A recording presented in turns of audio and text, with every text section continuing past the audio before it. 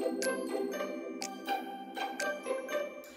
present participle is the verb plus ing, used as an adjective or a verb. Well, good morning, class. Today's lesson is replace my past with present participle. What is a present participle?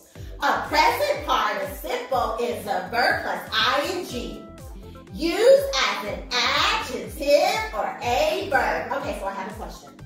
Yesterday, I was so thirsty, right? So I drank 64 ounces of water yesterday. So my question is, do you think that I can go without drinking water anymore? Like today I should be fine, right? No! Wait a minute. So what you're trying to tell me is the past drinking of water that I did is not enough? Yes! Not enough. Okay, so think about the verb to drink.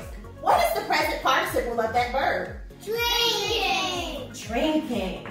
Oh, so that means that I have to keep, Drinking! in order to satisfy this thirst that I have, I have to keep what? Drinking!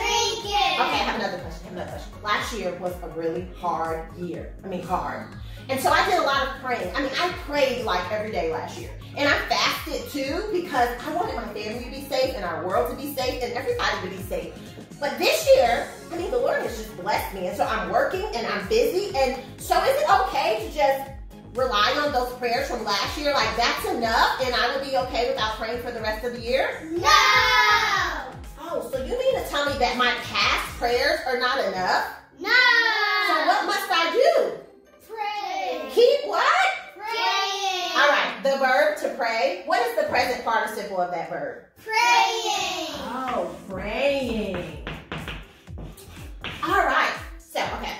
Let's go over our memory verse, okay? Um, for if thou shalt confess with thy mouth the Lord Jesus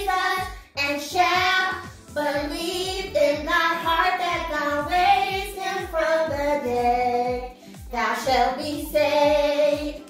Romans 10 and 9, for with the heart man believeth unto righteousness, and with the mouth confession is made unto salvation.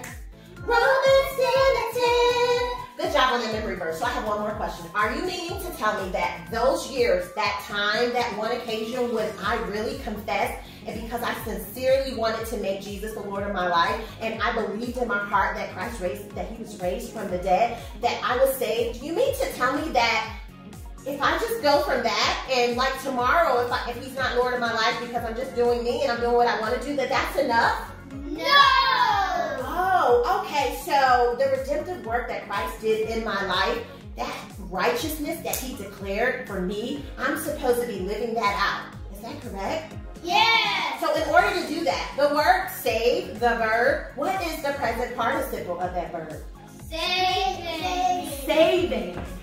Oh, so it is the saving grace that is being worked out of me each and every day. So every day I have to wake up and make Jesus Lord of my life. Every day I have to work out that righteousness that he declared in me through the process of living for him. Is that right? Yes! Well, class, you have just been awesome and wonderful. Thank you for helping me to remember to replace my past with present participle. And once again, what is a present participle? A present participle is the verb plus ing, used as an adjective or a verb.